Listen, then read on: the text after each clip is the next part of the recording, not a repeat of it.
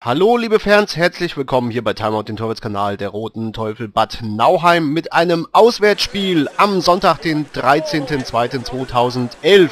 Da ging es nach Dortmund zum Spitzenreiter, die Mottofahrt Erbarme, die Hesse komme, in Anlehnung an einen alten Song von den Rottgau Monotons. Es wurde ordentlich eingeladen, die Fanclubs hatten gemeinsam mit der ECRT Bad Nauheim GmbH drei Fanbusse organisiert. Die GmbH versprach ordentlich Getränke und auch Verköstigung. Brezeln wurden mit an Bord geladen. Gut 150 Fans fanden sich ein. Die Fanclubs, unter anderem die Roten Teufel, die Fanatics. Sie organisierten sich am Parkplatz Frankfurter Straße in Bad Nauheim, verteilten die Fans auf die Busse, die die Fahrt in Richtung Dortmund aufnahmen. Gut 200 Kilometer, auch Sponsoren mit an Bord. Ein Zwischenstopp wurde auch gemacht, natürlich, denn das mitgebrachte Bier, es musste ja auch wieder irgendwo hin im Siegerland. Da machte man kurz Rast. Hatte viel Spaß an Bord, alle drei Busse. Tolle Stimmung vor diesem Spiel. Der Tabellenführer, die Dortmunder mit zwölf Punkten vor den Hessen. Aber ja immer noch im Hinterkopf so ein bisschen dieses anhängige Verfahren wegen der Passgeschichte am Anfang der Saison. Sechs Punkte stehen da im Raum. Bin schüchtern. Ja, Herr Bohl, unser Fanreporter, der uns so oft am Live-Radio mit den Informationen versorgt, sagt hier, er wäre ein bisschen kamerascheu, aber wir haben ihn natürlich eingefangen. Und die Fans, als sie schließlich im Westfalenpark dann ankamen, an der Strobelallee, die Stimmung bestens. Ja, man hoffte natürlich, man hatte einmal in Dortmund gewonnen, die Punkte leider dann abgenommen bekommen, einmal nach Penalty verloren zu Hause ebenfalls einmal gewonnen, einmal verloren. Also eine relativ ausgeglichene Bilanz. Das fünfte Spiel nun also. Aber der EC trotz der Unterstützung, er war sportlich geschwächt. Lelliger, der Topscorer, nicht dabei. Nach seiner Gehirnerschütterung wurde er weiter geschont. Und auch Matthias Baldis, der ihn in der ersten Reihe als Center ersetzen sollte, hätte eigentlich nicht spielen sollen, hatte Leisten Probleme. Nichtsdestotrotz die Rundteufel rein in diese Partie mit dem ersten Schuss. Dritte Minute, Tobias Schwab, Boris Ackers war da rechtzeitig zur Stelle. Die Gäste aus Hessen, sie hatten in den ersten Minuten die besseren Spielanteile, die besseren Möglichkeiten. Hier Lenniger an der Bande fungierte gleichzeitig als Co-Trainer und als Motivator für sein Team fuhr natürlich mit, um sich dieses Spitzenspiel anzuschauen. In der Folgezeit dann aber die Elche, die komplett antraten. Sie kamen so langsam immer besser vor den Kasten von Markus Keller. Und es deutete sich auch gleich an in den ersten Minuten, dass hier ordentlich Pfeffer drin war. Hier ging es natürlich nicht nur um die Möglichkeit, den ersten Platz dingfest zu machen für die Elche, für Bad Nauheim vielleicht Anschluss weiterzufinden. Es ging natürlich auch ums Prestige. Man sieht sich eventuell in der Zwischenrunde wieder, vielleicht sogar in den Playoffs.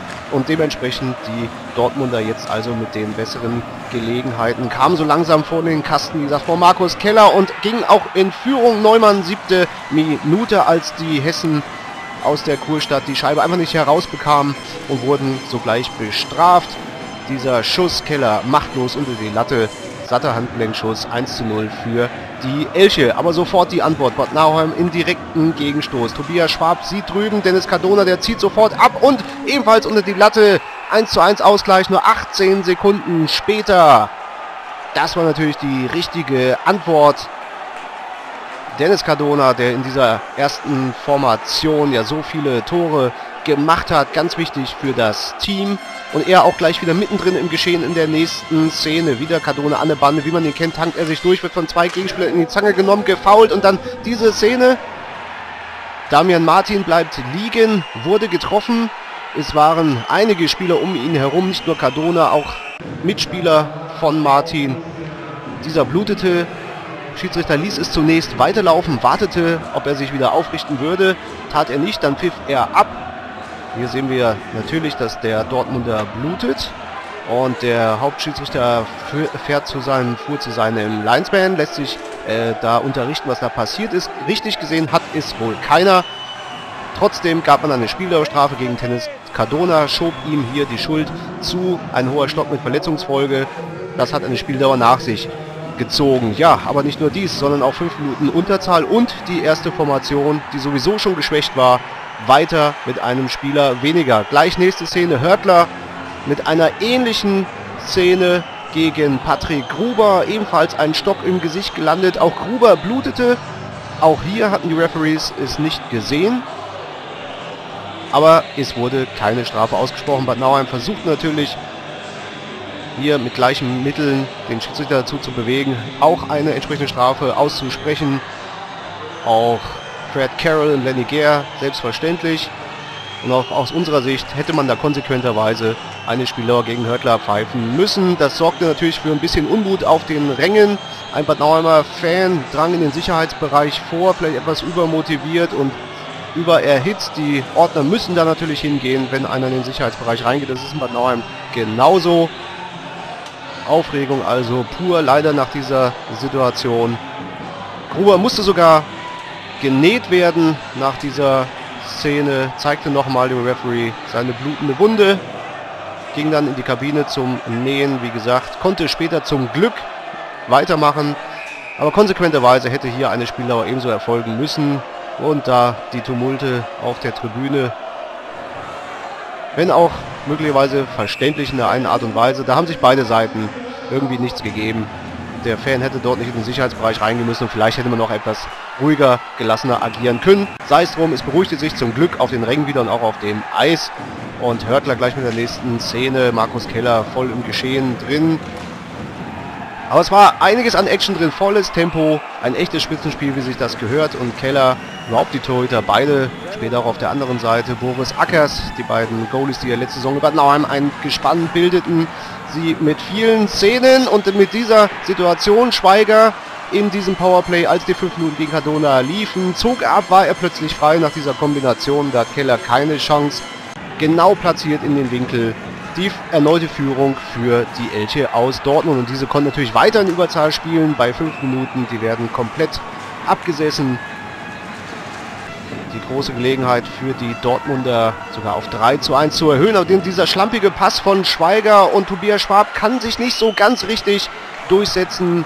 Wird behindert von Kreuzmann und der letztendlich mit dem entscheidenden Tick, so dass Boris Ackers halten kann. Die Riesenmöglichkeit auf den Ausgleich. Gleich wieder Tobias Schwab. Wieder sein letztjähriger Mitspieler Boris Ackers mit dem Schläger zur Stelle. Aber dieser kassierte eine 2-Minuten-Strafe in der 19. Minute, kurz vor der ersten Pause. Powerplay für die Hausherren. Nur 8 Sekunden und abgezogen. Tor 2 zu 2. Manuel Weibler in diesem Powerplay zum Ausgleich.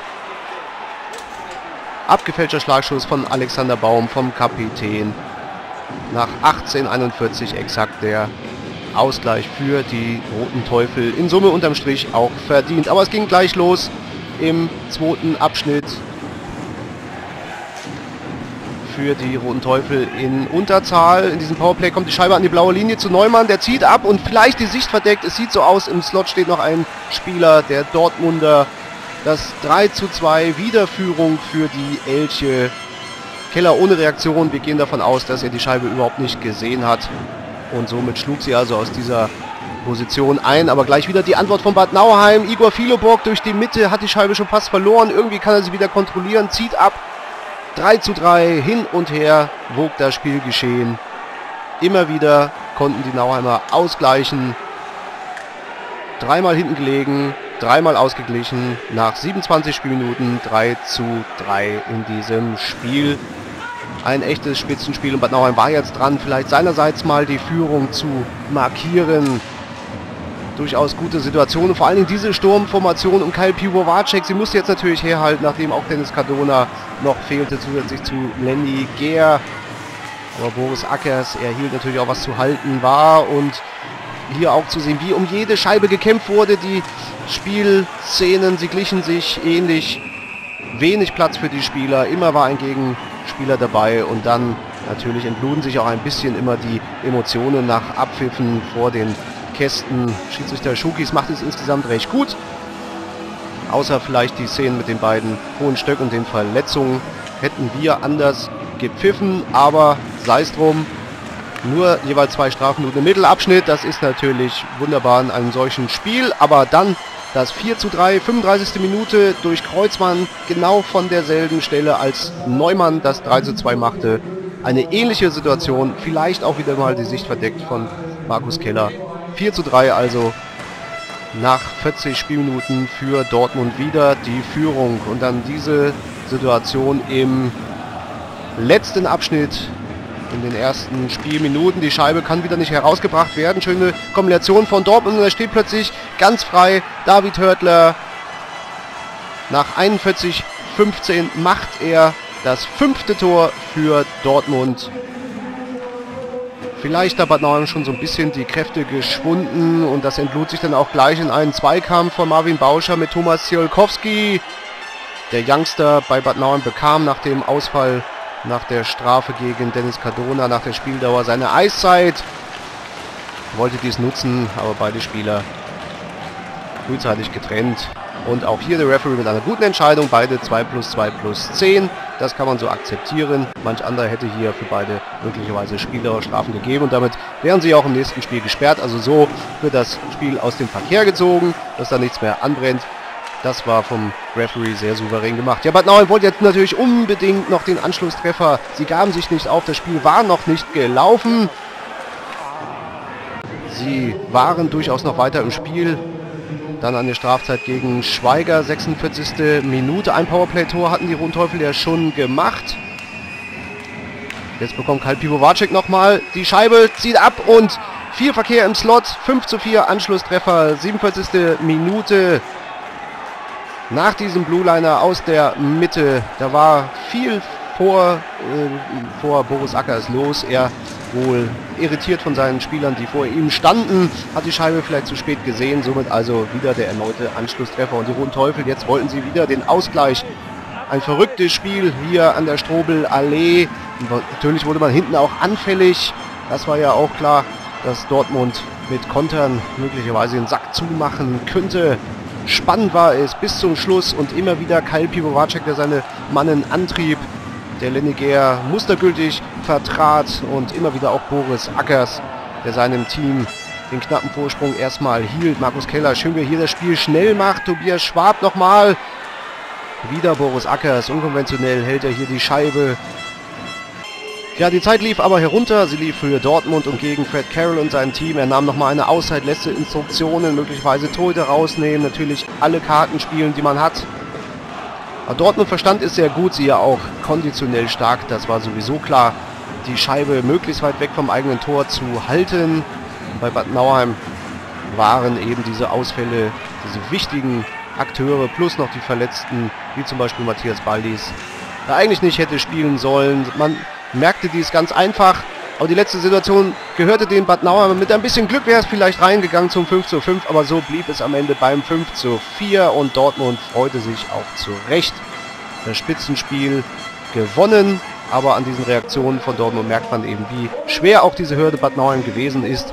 Aber die Rundteufel, sie wissen, in Bestbesetzung mit allen Mann kann man auch Dortmund schlagen. Auch in diesem Spiel war durchaus etwas drin mit ein bisschen mehr Glück und Fortune. Wie auch immer, Dortmund ist der erste Platz nicht mehr zu nehmen. Herzlichen Glückwunsch hierzu.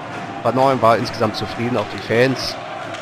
Wir freuen uns auf die Zwischenrunde. Vielleicht sieht man Dortmund da wieder. Wir sehen uns auf jeden Fall mit dem nächsten Match hier bei Timeout. Schaut wieder rein bei uns, bei uns auf der Homepage und natürlich auch im Kanal Bis dahin, macht's gut und tschüss.